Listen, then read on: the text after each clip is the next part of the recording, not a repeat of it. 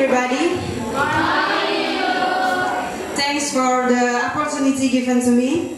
Now I would like to tell you about Dewi Sartika.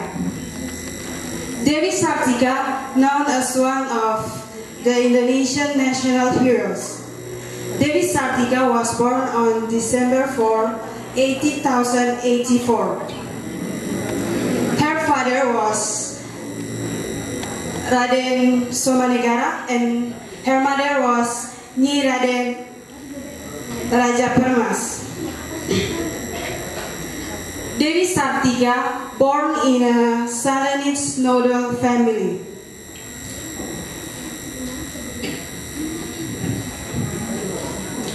Her parents were fighting so hard to send her to a school. It was because at the time to sending a woman to a school was against the culture.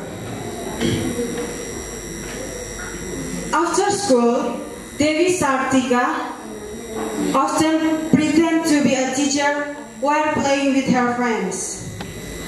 And after her father died, Dewi Sartika lived with her uncle named Arya, who was a governor of Cicalengka. At the time, mother was exiled to Ternate. It was rebelling for Netherlands as India's government.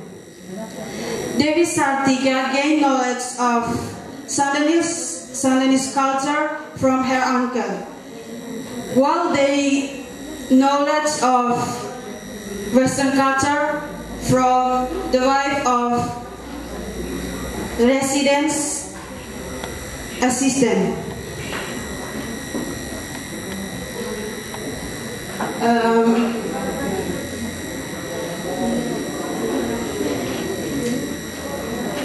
Dewi Sartika um,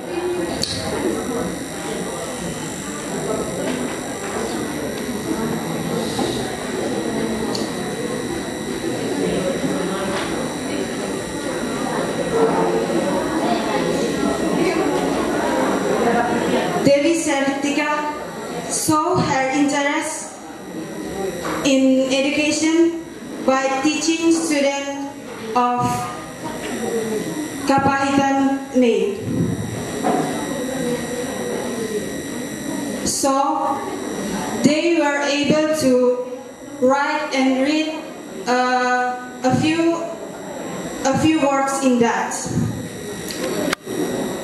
In 1899, Dewi Sartika moved to Bandung and stayed with her mother. And in in 1894, Dewi Sartika established, established a school named Sekolah Istri at Bandung at Bandung Regency Pendopo.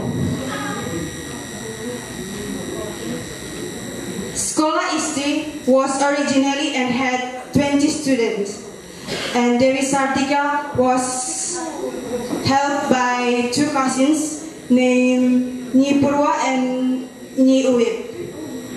And the last, Dewi Sartika was died and at September